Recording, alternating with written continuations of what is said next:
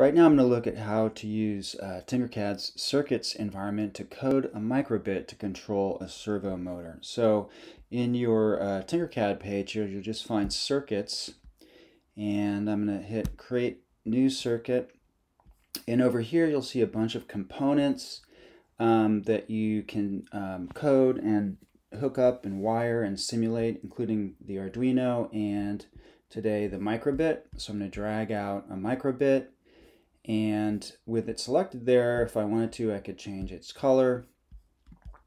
And the other thing we need is a micro servo. And um, I'm going to select that. And we're using, I'm going to use, uh, instead of positional, which are 180 degrees of motion or movement, I'm going to use a continuous servo. And so it's going to show me a wheel to indicate that.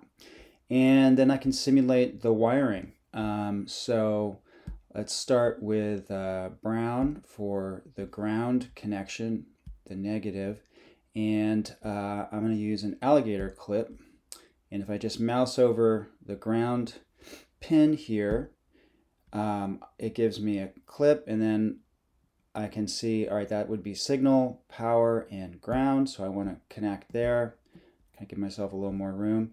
But so students can really see um, how the wiring is meant to work. Next will be um, the 3 volts. So again, mouse over and find the correct spot for that. And then we're going to do the signal wire on pin 0, um, which is the default in the code. So, and if you um, miswire these, um, then the code actually won't uh, work in the simulator. So let's have a look at that. So I'm going to make myself a little more room. Um, in the simulator, I'm going to get a button A uh, input here. And then for the output, I'm going to hit output drawer and I'm going to go down to rotate servo on pin 0 uh, to 0 degrees. And if I then start simulation up here, um, now when I click button A, the servo wheel will, will spin. So I'll stop the simulation. And how this works is that uh, uh, for to control a, a, continuous servo, zero would be full speed in one direction, and then uh, 90 would be stopped, and 180 would be full speed in the opposite direction. So I'm going to control click on uh, that input there to duplicate it, I'm going to say button B. Uh, let's have that go 180 in the opposite direction. Control click to duplicate. And I'm going to say buttons A and B will be 90 degrees, which should be um, stopped. And again, I'm going to come up here and click Start Simulation. And here's my one direction. Stop and the other direction stop in my simulator. Um, I'll stop the simulation and uh, to actually load this code on the microbit, I would uh, click download and then just drag it um, over onto the microbit in my uh, Finder window.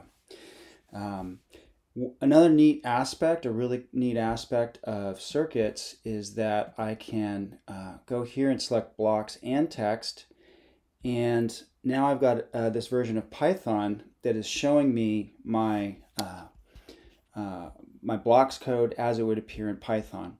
So if I go say to basic and I add smiley face, the Python immediately updates, which is really neat.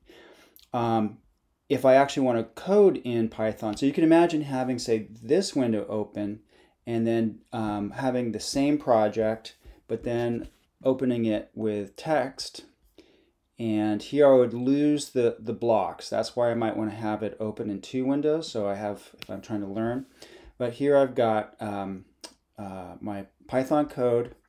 Again, if I can start the simulator and press A, now I get the smiley face and the, the wheel spins.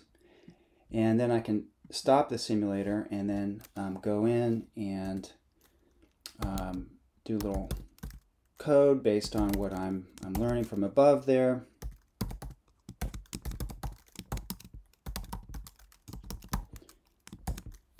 And now if I start simulation, I can see that button B gives me a sad face. So you can really imagine students, uh, you know, having a lot of fun with um, transitioning or back and forth, learning from uh, their blocks how to how to uh, use text-based um, coding. So here's another quick example of a program I could run.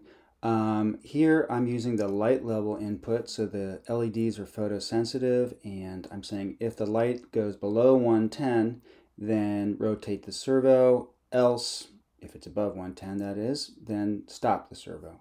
Um, and to figure out what my uh, light level is, um, I might say, where am I? I might get a on button A, and I'm going to grab this light level input, and under outputs, I would get a show number, and the number I want to show is whatever my light level is. So now if I start the simulation, I could find out, okay, the light level is 128, right, in the simulator. And, and you can see that right here. If I slide it down below 110, my servo spins. And again, if I, I could see what my light level is, 104, right? Um, and so again, if I loaded this program onto my microbit, I'm going to be able to just uh, you know cover the microbit with my hand or or otherwise uh, dim it, and that's going to um, initiate the servo motion, which is a pretty neat input. All right, well there's our quick look at circuits um, to control a microbit and um, in this really neat simulation environment um, and to get servos moving with circuits. Thanks.